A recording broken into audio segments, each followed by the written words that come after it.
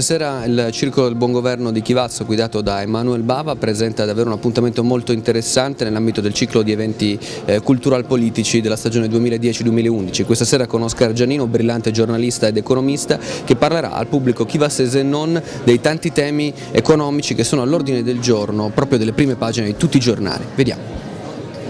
Oscar Giardino, questa sera a Chivasso per parlare alla cittadinanza di economia, dello Stato, delle cose che sembra molto molto complicato in Europa. Per riassumerlo in poco ci vuole capacità e bravura, siamo sicuri che ne sarà capace.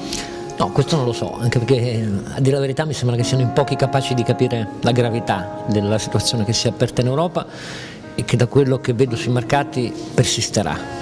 Cioè, i mercati hanno capito che la decisione franco-tedesca di confermare questo nuovo meccanismo nel 2013-2014 per il salvataggio di eventuali paesi implica per il mercato iniziare a differenziare il giudizio sul livello di rischio dei titoli del debito pubblico, cioè il mercato sarà fortemente incoraggiato non a tornare come prima della crisi greca e nei mesi successivi a maggio a degli spread contenuti rispetto ai titoli tedeschi, ma a diversificare molto. Lo abbiamo già visto oggi, oggi abbiamo toccato il massimo storico del, dello spread tra il BTP e il Bund tedesco, temo che vedremo di peggio presto. E quindi per l'Italia si porrà un problema perché o diamo segnali di grande stabilizzazione della nostra finanza pubblica oppure gli spread che salgono significa che crescerà l'onere sul debito pubblico ed è praticamente l'unico grande vero vantaggio che abbiamo avuto nell'euro in questi dieci anni, quindi c'è una prospettiva di fronte a noi in cui se l'Italia appare instabile come politicamente apparirà instabile, il rischio è molto forte. Ecco, Federico Rampini ha parlato su Repubblica ehm, citando Obama, noi ve l'avevamo detto, cioè Obama aveva detto che eh, se non ci fosse stata una eh, grossa spinta verso la spesa pubblica probabilmente eh, non ci sarebbe stata questa crisi irlandese, lei si sente di condividere? No, io penso che Obama abbia sbagliato la ricetta a casa sua, che gli americani glielo abbiano già spiegato alle elezioni del midterm, eh, la ricetta per uscire dalla crisi non è usare il vecchio Keynes di 70 anni fa, il mondo è cambiato, credere che fare più deficit del debito pubblico per sostenere la domanda andava bene quando l'intermediazione pubblica del reddito era inferiore al 30% del PIL, come negli anni 30. Quando, come nel nostro paese, nella media dei paesi avanzati è superiore al 40%, nel nostro caso al 50% del PIL, fare più debito i mercati ti stangano.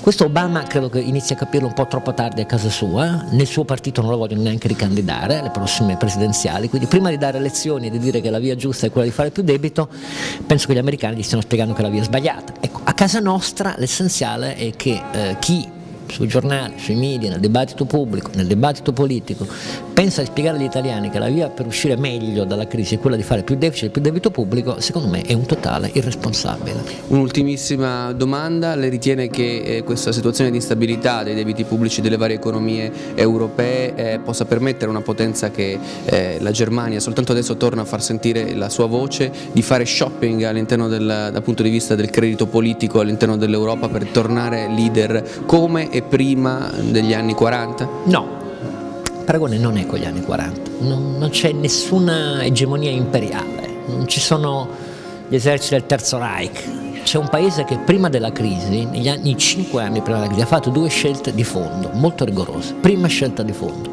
mettersi in Costituzione un limite al deficit pubblico e un limite al prelievo fiscale sono scesi di 6 punti di PIL di spesa pubblica e di pressione fiscale prima della crisi e oggi incamerano il premio. Seconda scelta. Negli anni 2002-2003 grandi gruppi manifatturieri tedeschi hanno chiesto al sindacato volete che delocalizziamo nei paesi dell'est qui vicino che sanno lavorare come noi, quindi non in Cina, sanno lavorare come noi, le loro maestranze. Oppure volete che per difendere gli insediamenti della manifattura tedesca ci date più lavoro alla stessa paga per qualche anno? Il sindacato tedesco ha detto sì. Per questo fatto, nei cinque anni prima della crisi, la Germania ha guadagnato 18 punti di competitività e 12 punti in meno di costo del lavoro rispetto a noi, 30 punti secchi. Queste due condizioni, rigore pubblico e produttività nella manifattura, sono la vera condizione per stare nell'euro in maniera che l'euro sia uno scudo e non una gabbia. Chi lo ha fatto come loro lo usa come scudo, chi non lo ha fatto come noi per l'euro, noi, per noi è una gabbia, questa è la differenza. Però io penso che bisogna dirle chiare queste cose alla gente, non dire che la colpa è dei cattivi tedeschi, se noi fossimo tedeschi noi ragioneremmo come loro.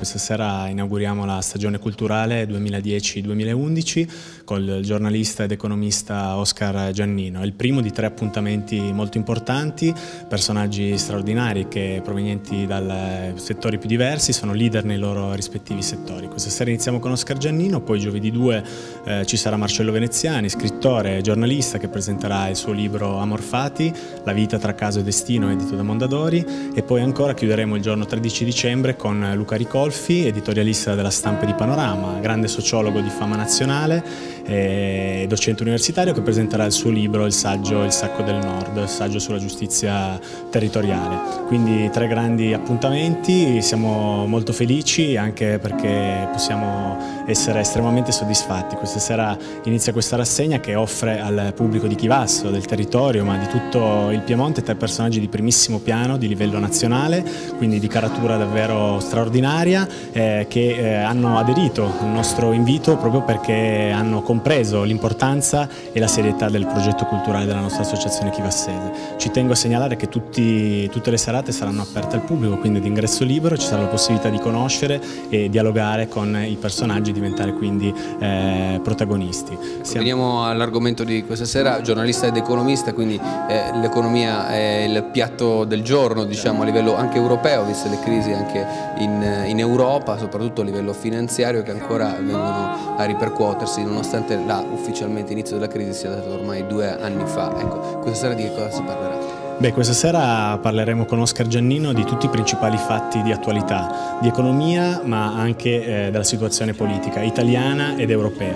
Quindi partiremo dall'analizzare proprio eh, la crisi, parlando di eurodebito, di eurocrisi, fino ad arrivare ai temi di strettissima attualità, dalle esclusive di Wikileaks eh, fino al recente referendum che si è svolto in questi giorni in Svizzera, senza eh, naturalmente dimenticare la situazione politica italiana, la crisi e il debito pubblico. Devo dire che spazieremo davvero su tutti i temi di più stretta attualità. Ringrazio davvero di cuore Oscar Giannino perché lo abbiamo inseguito per eh, molti mesi, ma alla fine portarlo a Chivasso ci consente di portare ancora una volta la cultura con la C maiuscola eh, nella nostra città. Credo che siano davvero occasioni uniche, incredibili per la nostra città e per tutto il territorio. Davvero. Grazie.